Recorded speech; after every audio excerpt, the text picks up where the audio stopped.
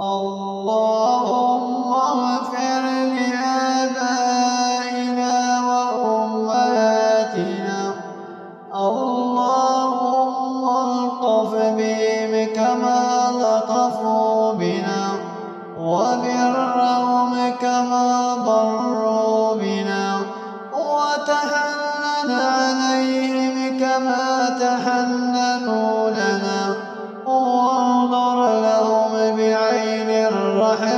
والرضوان.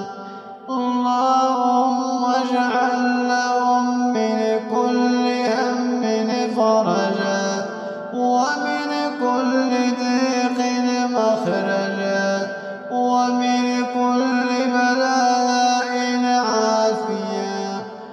اللهم من كان منهم حيا فأعنا طاعته والإحسان إليه. ونعوذ بك من العقوق والجحود. ومن كان منهم ميتا فاغفر له وارحمه وتجاوزه